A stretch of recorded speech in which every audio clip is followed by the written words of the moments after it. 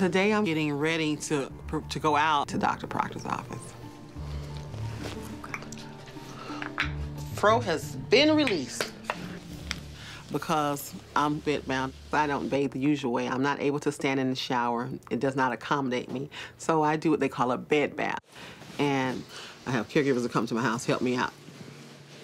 I use basins of water that usually hold about a half gallon each.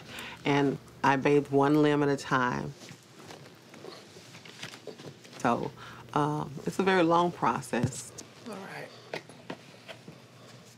Come back. Okay. That's good. All right, here we go.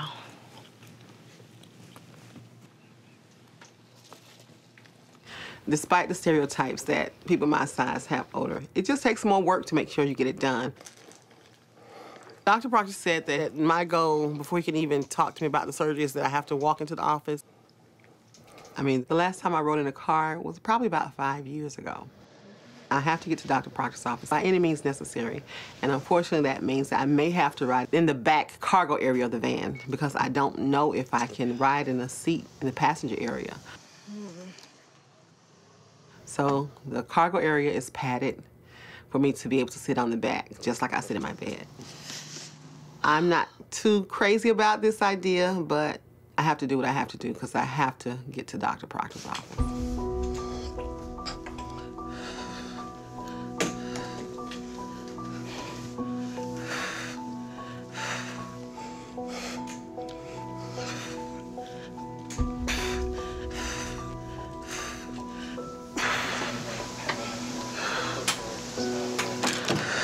Have not been able to find a walker that is wide enough to accommodate me.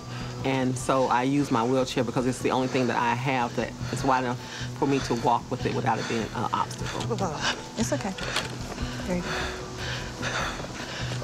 Each step, there's jarring pain. I'm gritting my teeth. But I'm determined I'm going to get to this van today. Ah. Okay, look at you. You holding it? Yeah. Whenever I uh, venture out to walk, I have to remember to save something to get back. Because getting stuck outside is not an option. If I fall down or something happens, me and Robin won't be able to do that. I will have to have a team of people to come in, and usually people my size have to rely on the fire department to come out. There you go. Got it? It would probably be an EMT situation. I'm holding it too. Got it.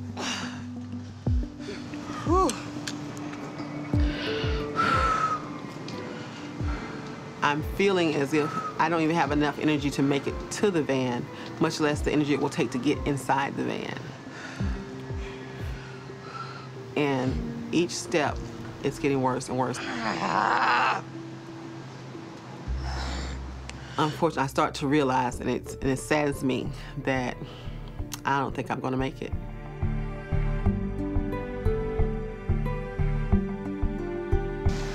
Okay.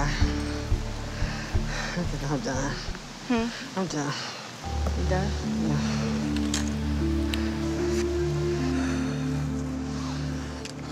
I tried to use mind over matter, but my body was done. And I feel defeated. And it's, it's heartbreaking to think that all of this work and all of this progress is still not enough.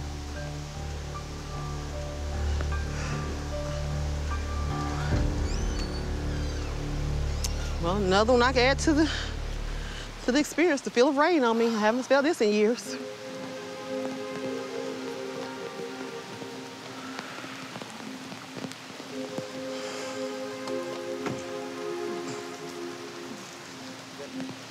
I, you know, I do bed baths. I take a, letting hot water run on you in the shower is something you take for granted. And I haven't felt water cascading on my body in years, so it was actually nice.